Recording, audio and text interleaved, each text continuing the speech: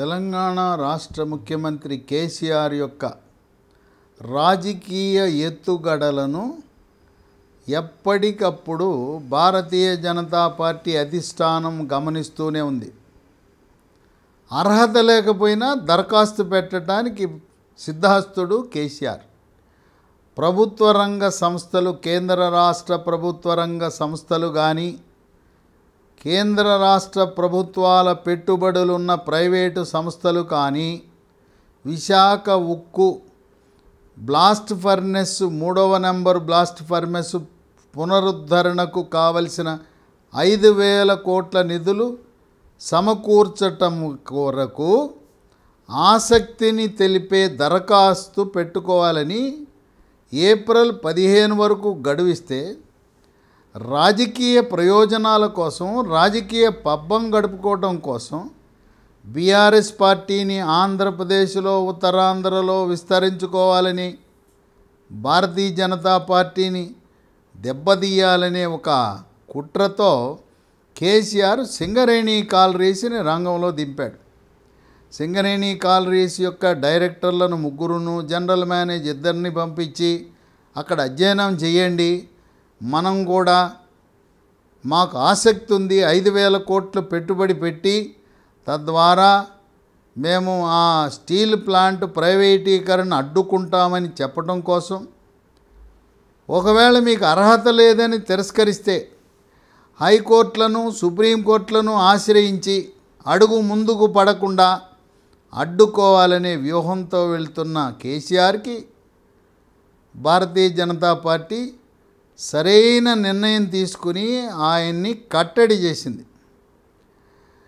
కేంద్ర ఉక్కు శాఖ సహాయ మంత్రి ఫగ్గన్ సింగ్ ఆగమేఘాల మీద ఏప్రిల్ పదమూడున విశాఖపట్నం వచ్చాడు. వచ్చి ఉద్యోగ సంఘాలతో సమావేశం పెట్టాడు. యాజమాన్యం మేనేజింగ్ డైరెక్టర్లు డైరెక్టర్లతో కూడా సమావేశం పెట్టాడు. ఆయన పత్రికా సమావేశం నిర్వహించి ప్రస్తుతానికి మేము ప్రైవేటీకరణ దిశగా అడుగులు వేయటం లేదు. మా నిర్ణయాన్ని మార్చుకున్నాము. ప్రస్తుతం ఉన్న విశాఖ ఉక్కుని బలోపేతము చేసే విధముగా అడుగులు వేయదలుచుకున్నాము. బహుశా ఈ ఐదు వేల కోట్లు ప్రైవేటు పెట్టుబడులు ఆహ్వానించే నోటిఫికేషన్ను కూడా ఉపసంహరించుకునే అవకాశం ఉంది. ఎందుకంటే ఏడుగురు దరఖాస్తులు పెడితే ఆరుగురికి సరైన చరిత్ర ట్రాక్ రికార్డు సరిగా ఆర్థిక వ్యవహారాలు నిర్వహించగలిగే సమర్థత ఉన్నట్టుగా లేదు. ఇప్పుడు కేసీఆర్ సింగరేణి కాలరీస్ని అర్హత లేని దరఖాస్తు పెట్టే అవకాశం ఉంది. ఇటువంటి తరుణంలో బ్లాస్ట్ ఫర్నెస్ మూడు దాన్ని స్టీల్ అథారిటీ ఆఫ్ ఇండియా లేదా national mineral development corporation NMDC వాళ్ళతో పెట్టుబడి పెట్టించి ఆ బ్లాస్ట్ ఫర్నెస్ మూడవ నంబర్ది పనిచేయటం ప్రారంభిస్తే విశాఖ ఉక్కు లాభాల బాటలో పట్టే అవకాశం ఉంది. విశాఖ ఉక్కు వాళ్ళని విస్తరణ చేసుకోమని చెప్పింది కేంద్ర ప్రభుత్వం. కేంద్ర ప్రభుత్వం చేయమన్నారు కదా అని ఇరవై రెండు వేల ఐదు వందల కోట్లు పెట్టి ఆధునీకరణ విస్తరణ చేస్తే మా దగ్గర నిధులు లేవు కేంద్ర ప్రభుత్వం ముఖం చాటేసి మీరే మీ తిప్పలు మీరు పడండి బ్యాంకు తెచ్చుకున్న అప్పులు వడ్డీలన్నీ మీరే కట్టండి. ఆ ఇరవై రెండు వేల ఐదు వందల కోట్లు చెల్లింపుల విషయంలో కేంద్ర ప్రభుత్వం చేతులెత్తేసింది. అందువల్ల ఈ రోజున సంక్షోభం వచ్చింది. తర్వాత విశాఖ ఉక్కు ఫ్యాక్టరీకి బొగ్గు గనులు సొంతంగా లేవు. ఇనుప గనులు కూడా సొంతంగా లేవు. సొంతంగా బొగ్గు గని ఇనుప గని ఉంటే ఒక టన్ను ముడి సరుకు వెయ్యి ఐదు వంద వెయ్యి ఐదు వందల రూపాయలు పదిహేను వందల రూపాయలతో మనకు ముడి సరుకు లభిస్తుంది. ఇప్పుడు బహిరంగ మార్కెట్లో ఒరిస్సా మినరల్ డెవలప్మెంట్ కార్పొరేషన్ నుంచి కొనుగోలు చేస్తుంటే ఒక టన్ను ఐదు వేల ఐదు వందల రూపాయలు పెట్టి ముడి సరుకు బొగ్గు కానీ ఇనుప ఖనిజం కానీ కొనుక్కోవాల్సిన అవసరం ఏర్పడింది. అంటే నాలుగు వేల రూపాయలు ఒక్కొక్క టన్నుకి అనవసరంగా అదనంగా ఖర్చు పెట్టవలసిన అవసరం ఉంది. అదే విశాఖ ఉక్కు ఫ్యాక్టరీకి ఒక ఇనుప ఖనిజం ఉన్న గని ఒక బొగ్గు గని రెండు కేటాయిస్తే అది కూడా లాభాల బాటలో పడుతుంది ఇతోధికమైన ఉత్పత్తిని కూడా ఇవ్వగలుగుతుంది. ఒకానొకప్పుడు రెండు వందల ఇరవై లక్షల టన్నుల ఇనుము ఉత్పత్తి చేసి స్టీల్ ఉత్పత్తి చేసి లాభాల బాటలో ఉన్న విశాఖ ఉక్కు ఇరవై రెండు వేల ఐదు వందల కోట్లతో విస్తరణ ప్రారంభమై అది జరిగి పూర్తయిన తరువాత ఆర్థిక సంక్షోభంలో చిక్కుకుపోవటం వాస్తవమే. విశాఖ ఉక్కు మరొక ఆలోచన కూడా చేయొచ్చు. విశాఖ ఉక్కు స్టీల్ని స్టీల్ అథారిటీ ఆఫ్ ఇండియాలో కలిపేయచ్చు. స్టీల్ అథారిటీ ఆఫ్ ఇండియా వాళ్ళు ఆ లాభాల బాటలో ఉన్నారు. వాళ్ళు దీని నిర్వహణ చేపట్టి వాళ్ళ గనుల నుంచి ఇనుప ఖనిజాన్ని ఉత్పత్తి చేస్తే లాభాల బాటలో నడుస్తుంది. లేదా జాతీయ మినరల్ డెవలప్మెంట్ కార్పొరేషన్ దీన్ని టేక్ ఓవర్ చేసి దీన్ని దాంట్లో విలీనం చేసుకున్నా కూడా లాభాల బాటలో పడుతుంది.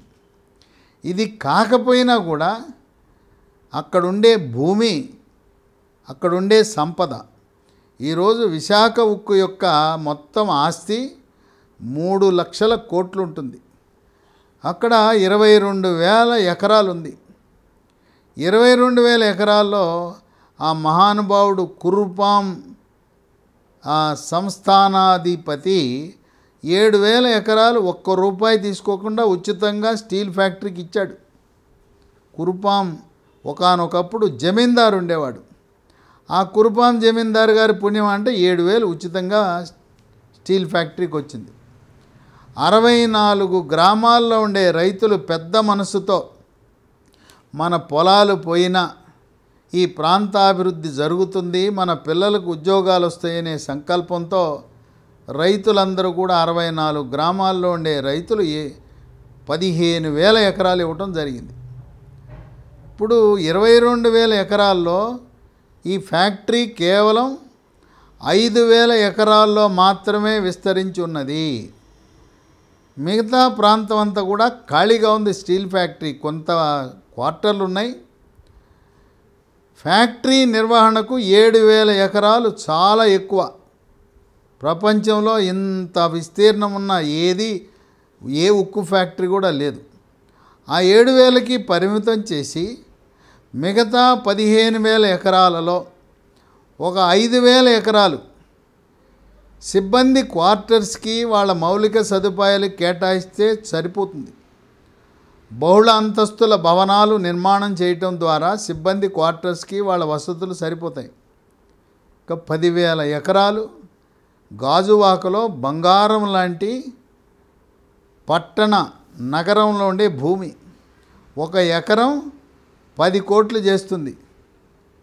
ఈ పదివేల ఎకరాలను ల్యాండ్ మానిటైజేషన్ అంటారు. ల్యాండ్ మానిటైజేషన్ అనగా అక్కడ విశాఖ నగరవాసులు తూర్పుగోదావరి ఉత్తరాంధ్ర కొంతమంది హైదరాబాదులో ఉండే వాళ్ళందరూ కూడా గాజువాకలో విశాఖ ఉక్కులో ఒక పదివేల ఎకరాలు వేరు చేసి అక్కడ స్థలాలు కేటాయిస్తే భవనాలు నిర్మించుకోవడానికి సిద్ధంగా ఉన్నారు. ఈ పదివేల ఎకరాలను భూమిని ప్రైవేటు వ్యక్తులకు సంస్థలకు అమ్మకము ద్వారా లక్ష కోట్ల నిధులు వస్తాయి. లక్ష కోట్ల నిధులు ఓ పక్క నగరాభివృద్ధి జరుగుతుంది. చక్కటి మౌలిక సదుపాయాలు మల్టీ స్టోరీడ్ భవనాలు నివాస భవనాలు వ్యాపార భవనాలు అట్లాగే ఐటీ పరిశ్రమ అన్నీ కూడా గ్రీన్ ఇండస్ట్రీస్ని అక్కడ ఏర్పాటు చేయడానికి అవకాశం ఉంటుంది.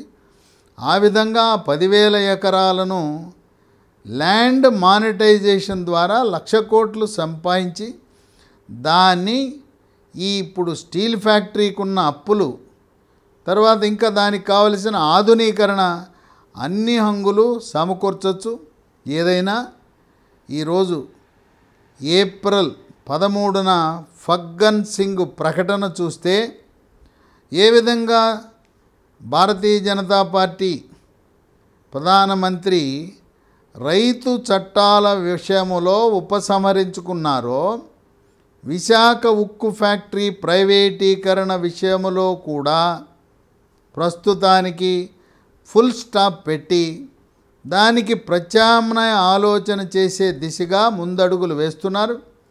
ఎందుకంటే తెలుగు రాష్ట్రాలలో భారతీయ జనతా పార్టీ విస్త విస్తరణ చేయాలనే సమయంలో విశాఖ ఉక్కు ప్రైవేటీకరణ అనేది ఒక సెంటిమెంట్గా ఒక అడ్డంకుగా మారింది.